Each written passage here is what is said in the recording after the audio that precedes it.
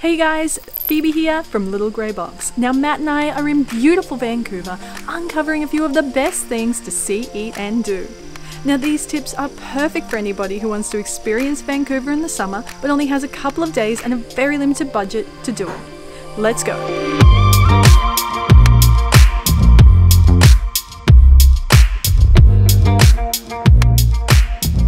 Located at the northwestern edge of downtown Vancouver, Stanley Park has been a designated green space for over 130 years.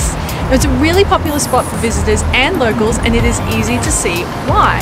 You can visit beaches, wander trails lined with beautiful cedar, fir, and hemlock trees, visit the aquarium, check out the seawall, there are cafes, plenty of spots for a picnic, and of course, you can hire a bike and whiz around.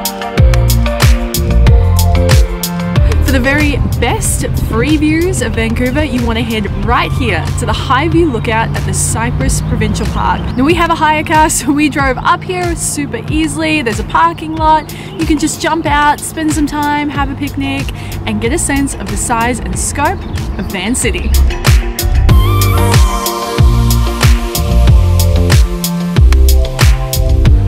As you can see, the Capilano Suspension Bridge is a real favorite among tourists. I mean, it's absolutely packed and I'm freaking out. I have really bad social anxiety and I'm not sure I'm going to be able to bring myself to get on there because it's a little bit claustrophobic. So in addition to the suspension bridge, you can do a cliff walk and there's some cool treetop adventures too. There's plenty of food to eat and a little bit of shopping you can do at the trading post.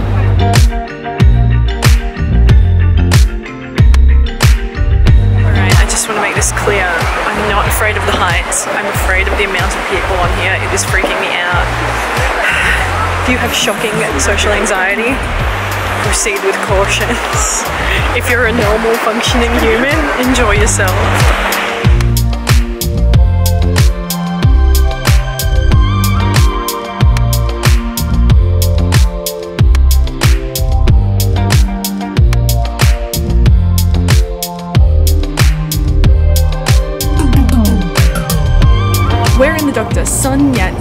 Classical Garden and it is beautiful. If you love gardens like I do, you will love this one.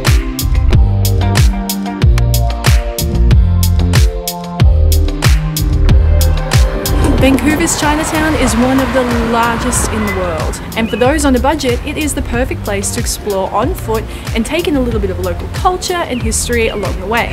Behind me is the Sam Kee building, and it is the narrowest building in the world. I know what you're thinking, Phoebe. It's not that narrow, but I want you to take a look at the two different paint colours. That dark paint, that's the Sam Kee building.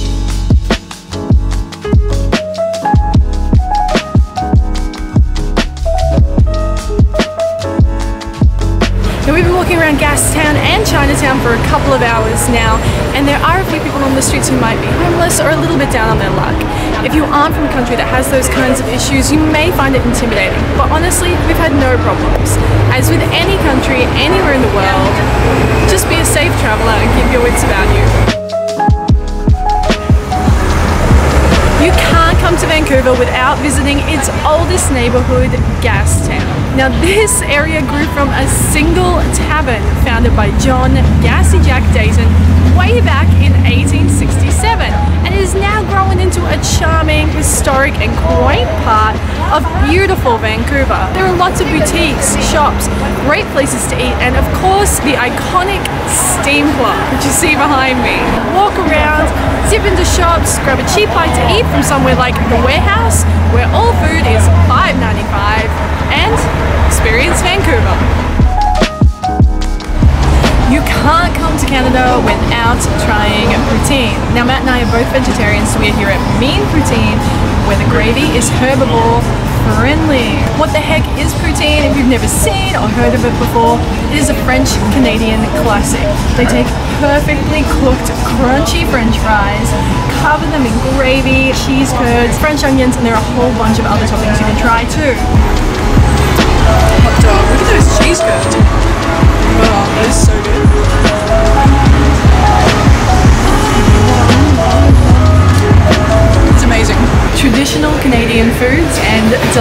Budget eats do not get any better than these bad boys. You are staring right down the barrel of a box of Timbits. If you don't know what a Timbit is, look, it comes from Tim Hortons, hence the name Tim, and the bit, well, they are essentially donut holes. So they're just a little round, bite-sized, tasty morsels of donut, and they are so good. Now this box of 10 cost me $2.29. Absolute bargain.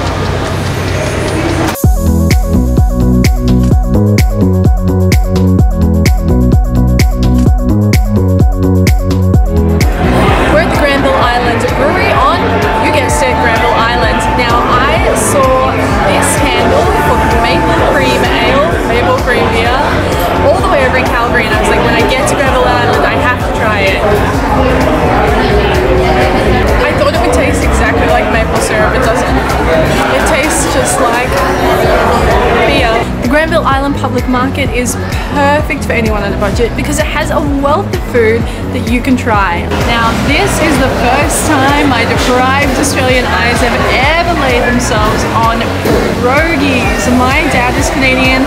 He has been talking about pierogies since before I can remember.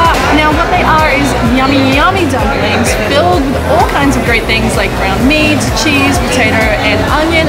I'm really excited for this. This feels like a big life moment. Oh.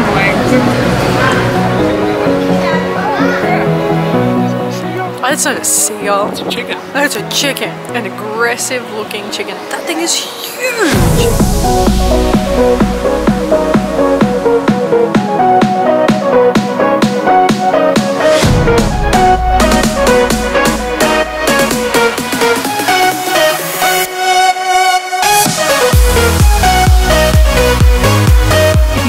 Views, you will love the Sea to Sky Gondola. Now, it's about a 45 minute drive from downtown Vancouver.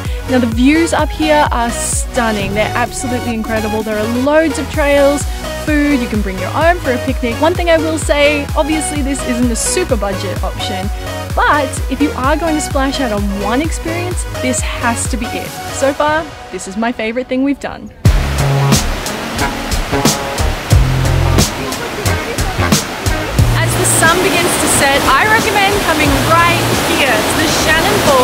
Park, where you'll find the incredible Shannon Falls.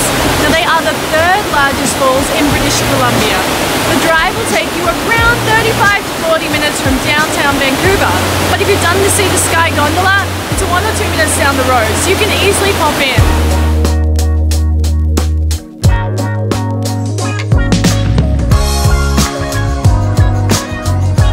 Somewhere to stay, it was really hard for us because it was peak season, it's super expensive.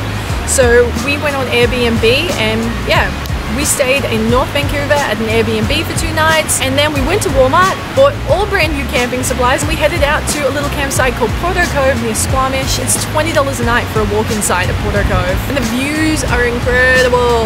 Porteau Cove is stunning. You've got the cove, you can swim out the front, there are mountains in the background, the sunsets are incredible. I love it. Thank you so much for watching you guys. We hope you found this video helpful. If you don't already, be sure to subscribe, join our travel fun family, and say hello in the comments below. Have a great weekend and we will see you next week. Love ya!